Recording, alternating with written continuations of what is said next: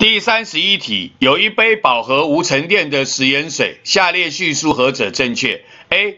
同温下加入更多的食盐于此溶液中，溶液的浓度会变大，这个是错的。相同温度之下，溶解度相同，饱和浓度相同。我加入更多的食盐，并不会使饱和溶液溶解更多的糖，所以浓度并不会改变。选项 A 是错的。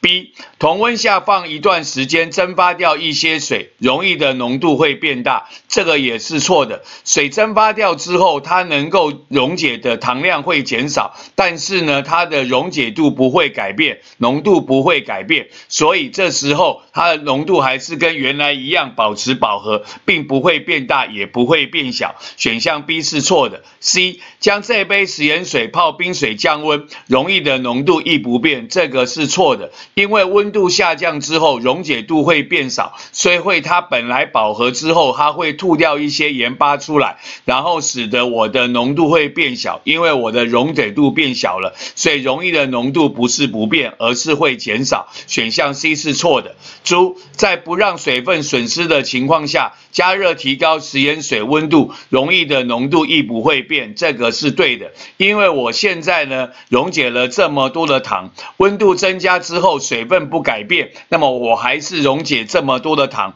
那我的糖一样，水一样，糖水一样，所以当然我的浓度也是一样，所以选项猪呢是对的。第三十一题问我们说，下列叙述何者正确？我们答案选的是猪，在不让水分损失的情况下，加热提高食盐水温度，溶液的浓度亦不变。